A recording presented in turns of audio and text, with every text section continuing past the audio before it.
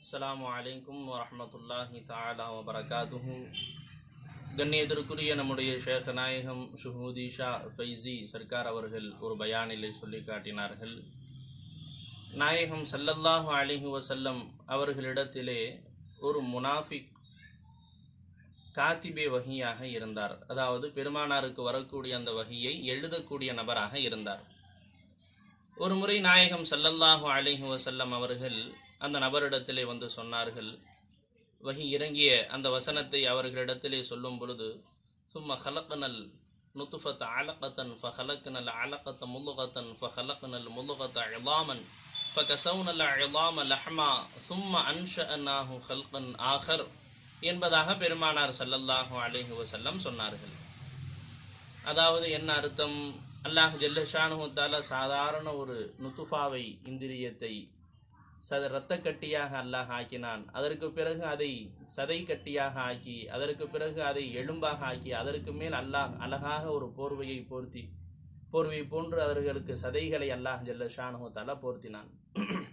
என்ற இந்த வசனத்தை பெருமானார் சல்லல்லாஹு அலிஹி வசல்லம் சொன்ன உடனே அந்த அல்லாஹினுடைய படைப்பின் பிரம்மாண்டத்தை பார்த்து அந்த அதிசயத்தை பார்த்து அந்த விஷயத்தை கேட்டு அந்த நபர் என்பதாக அவர் சொன்னார்.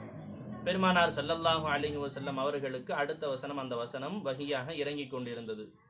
பெருமானார் சல்லல்லாஹு அலிஹி வசல்லம் சொன்னார்கள் அதுதாம்மா அடுத்த வசனம் என்பதாக நாயகம் சல்லல்லா அலிசல்லம் வஸல்லம் சொன்னாங்க. அதை கேட்ட உடனேயே அந்த நபர் என்ன செய்தார்? பேனா ஒரு பக்கம் போட்டுட்டு எழுதக்கூடிய ஏடை ஒரு பக்கம் போட்டுவிட்டு எனக்கும் வகி இறங்குகிறது நானும் நபி என்பதாக அவர் சொல்லி வெளியேறிவிட்டார். விளங்குச்சு அன்பர்களே அதே வசனத்தை நாயகம் சல்லல்லாஹு அலஹி வசல்லம் ஹசரத் சையதினா அமரது அல்லாஹும் தாலானு அவர்களிடத்திலே சொன்னார்கள்.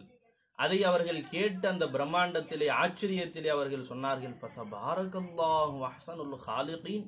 அல்லாஹ் ஜல்லுஷானுத்தால எவ்வளவு அழகிய படைப்பாளனாக இருக்கிறான் மிக மிக அழகான படைப்பாளனாக அல்லாஹ் இருக்கிறானே என்று ஹசரத் உமர் ரலியல்லாஹு சொன்னார்கள்.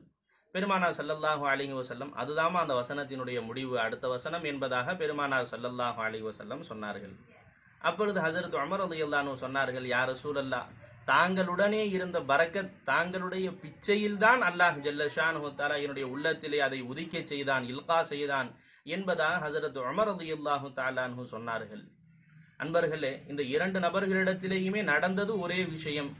பெருமானார் செல்லல்லாஹு அலிஹி வசல்லம் அல்லாஹ் ஒரு மனிதனை எப்படி படைக்கிறான் அந்த இந்திரியத்தில் இருந்து சதை கட்டியாக்கி சதை கட்டியை எலும்பாக ஆக்கி அதற்கு மேல் சதைகளை போர்த்தி இப்படி அல்லாஹ் படைக்கக்கூடிய அந்த படைப்பின் அழகை அல்லாஹ் வர்ணித்தான். அதை நாயகம் ஸல்லல்லாஹு அலிஹி வசல்லம் சொன்னார்கள். ஆனால் அந்த இருவர்களில் ஒருவர் காஃபிராக மாறிவிட்டார். இஸ்லாத்தை விட்டே முற்றிலுமாக வெளியேறிவிட்டார். இன்னொரு நபர் ஹசரத் உமர் அலியுல்லான் அவர்கள் சையீதினா உமராக அல்லாஹ்விடத்திலே இன்னும் மென்மேலும் அவர்களுடைய அந்தஸ்து உயர்ந்து விட்டது நண்பர்களே. அதாவது அல்லாஹ் சொல்லி காட்டுகிறான் அல்லவா கூனு மா சாதிகின் உண்மையாளர்களுடனே நீங்கள் ஷேகுமார்களுடன் நீங்கள் சேர்ந்து இருங்கள் என்பதாக அல்லாஹ் சொல்லுகிறான் அல்லவா. அவர்களுக்கு இறங்கக்கூடிய அந்த அருள்மலை அல்லாஹ்விடமிருந்து வரக்கூடிய ஃபைசான் அவர்கள் அருகாமையில் இருக்கக்கூடிய நமக்கும் அவர்களுடைய பிச்சையிலே நம்மீதும் அந்த ஃபைசான் நம்மீதும் படரச் செய்யும். அல்லாஹ் ஜல்லஷான் அவர்கள் கூட இருக்கக்கூடிய பறக்கத்தினால் அவர்களுக்கு கொடுக்கும் அருள் மலையிலிருந்து ஒரு சில துளிகள் நம்மீதும் படும். அப்படி நம்முடைய உள்ளத்திலே உதிக்கக்கூடிய ஞானங்கள் என்னுடைய திறமை என்று நாம் நினைப்போமேயானால் அந்த காத்திபி வகையை போன்று வீணாக ஆகிவிடுவான். இது என்னுடைய திறமை கிடையாது. என் சேகநாயகத்தினுடைய பிச்சை என்பதாக ஒருவன் விளங்குவானேயானால் அவன் செய்தினா உமர் அதியுல்லான் அவர்கள் உயர்ந்ததை போன்று அவன் உயர்ந்து விடுவான் நண்பர்களே ஏன் இந்த நாவு எப்படியாப்பட்ட நாவு? பொய் பொறம் ஃபசாது தீபத்து என்று அல்லாஹுவை வருத்தப்படுத்தக்கூடிய வார்த்தைகளை பேசிய இந்த நாவு இருக்கிறதே இது தௌஹீது பேசுவதற்கு அருகதையற்ற நாவு என்பதை நாம் விளங்கிக் கொள்ள வேண்டும். இந்த அர்ப்பணினுடைய நாவிலிருந்தும் அல்லாஹ் ரசூலுடைய அல்லாஹ் ரசூலை பற்றிய ஞானங்கள் வருகிறது. அல்லாவுடைய ஜா சிஃபா தஃபால் ஆசாருடைய ஞானங்கள் வருகிறது என்று சொன்னால் அது என்னுடைய ஷேഖിனுடைய பிச்சை என்று நாம் சொல்வோமேயானால் அல்லாஹ் ஜல்லஷான் தலா மென்மேலும் உயர்த்துவான். நம்மிடமிருந்து வெளியாகக்கூடிய அணுவத்தனை நன்மையாக இருந்தாலும் சரி அது நம்முடைய ஷேகனுடைய பிச்சை. என் ஷேகநாயகம் போட்ட பிச்சை என்பதாக நாம் சொல்லும் காலமெல்லாம் அல்லாஹ் ஜல்லஷான் தாலா வாழ்வாங்கு வாழச் செய்வான்.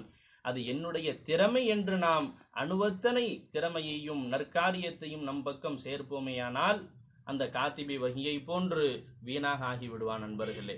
அல்லாஹ் ஜல்லஷானு தாலா நம் அனைவர்களையும் செய்தனா உமர் அல்லாஹு தாலானு அவர்களை போன்று முற்றிலுமாக அல்லாஹ் ரசூலிற்கு முற்றிலுமாக வழிபட்டு நடக்கக்கூடிய பாக்கியத்தையும் என் ஷேகனுடைய பிச்சை என்று அவர்கள் எப்படி தன்னுடைய ஷேகாகிய நாயகம் சல்லல்லா அலிஸ்லம் அவர்களுடைய பிச்சை என்று சொன்னார்களோ அதே போன்று நம்முடைய வாழ்க்கையில் அனுபவிக்கக்கூடிய ஒவ்வொன்றும் ஒவ்வொரு நற்காரியமும் என் ஷேகனுடைய பிச்சை என்று சொல்லி வாழக்கூடிய நல் பாக்கியத்தை அல்லாஹ் ஜல்லஷானு தலா நம் அனைவர்களுக்கும் நம் ஷேக நாயகத்தின் பிச்சையில் தந்தருள் புரிவானாக. அஸ்லாம் வலைக்கும் வரமத்துல்லாஹி வரகாத்தும்